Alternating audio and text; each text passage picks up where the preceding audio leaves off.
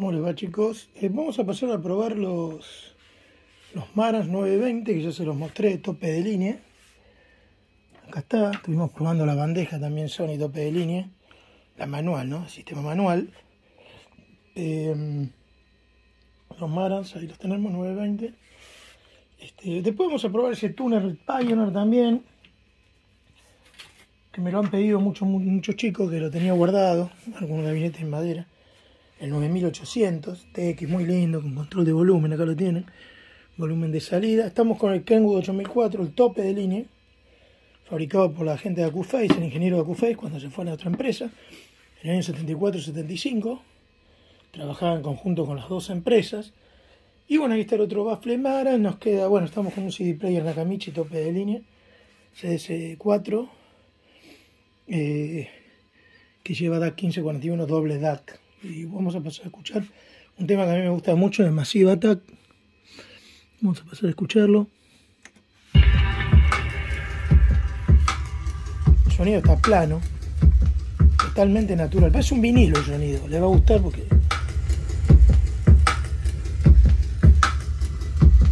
Estoy grabando el celular, recuerdo. Es un tema de una película temazo, ¿verdad? Este grupo es. A mí me encanta. Massive Attack, se los recomiendo. Una música espectacular.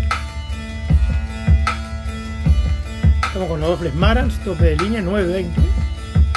Baffle magnífico, hecho por la gente de JBL. Muy natural, muy real. Unos medios y unos bajos, unos agudos, la. Bueno, el equipo está plano,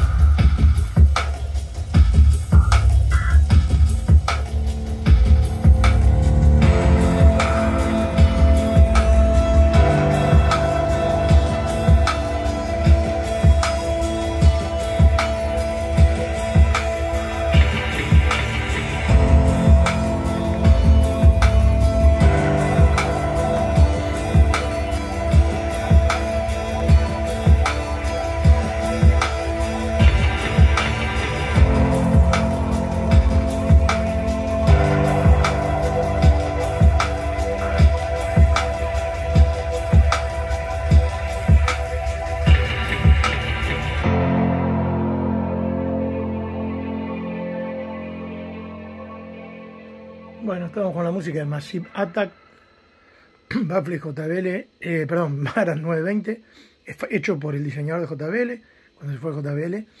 Eh, un baffle maravilloso, maravilloso, de lo mejor que escuché en 12 pulgadas. Aún suena mejor que todos los modelos de 12 pulgadas de JBL. Muy superior a todo lo que tuve. Y a lo que tengo, porque tengo L65 y varios que tengo, el Maras le pasa el trapo, lejos. Sobre todo en la gama media. El bajo es igual al JBL, pero la gama media viene afuera. El Twitter es fantástico. Es un Twitter de Alnico. Y bueno, capacitores en aceite. Seguimos con la música de Massive Attack. Bueno chicos, la música me gusta mucho. mando un abrazo grande, es unos días que no subía videos porque también me estoy dedicando también a otras cosas, a otros hobbies que tengo. Y bueno. Escuchen qué lindo sonido del parche, el tambor. Ahí sí. Pero el tema lo que les quiero demostrar es que el sonido este es súper natural, muy, muy natural. Y realmente es, es, es, lo que lo que realmente se destaca ¿no? de, de todo esto. Un baffle con un sonido muy natural, un equipo con un sonido fantástico. No me sorprende para nada porque tanto Q-Face como Kenwood, que se fusionaron, empezaron a trabajar juntas. En el año 74, 75 trabajaban juntas, el ingeniero compartía eh, la misma plataforma en Kenwood y, también en Acufface. ¿no?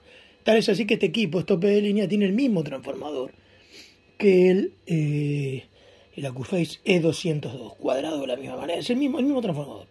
Pero este es un equipo de 60 vatios y el otro es de 100. Así todo puedo decir que este tiene una pureza, nada que ver la línea que termina con 4, en este caso, que la que viene después que termina con 6, no tiene nada que ver. Ya baja mucho la calidad, no es lo mismo.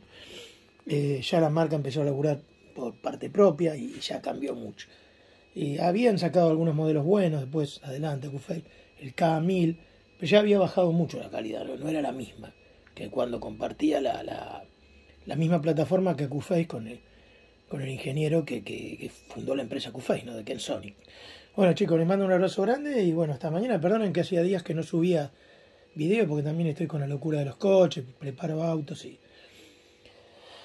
y bueno, realmente también le dedico tiempo a eso, al padre, a mi otro laburo y bueno, la verdad que bueno, que estuve con otras cosas también, desconectándome un poquito del audio, ¿no?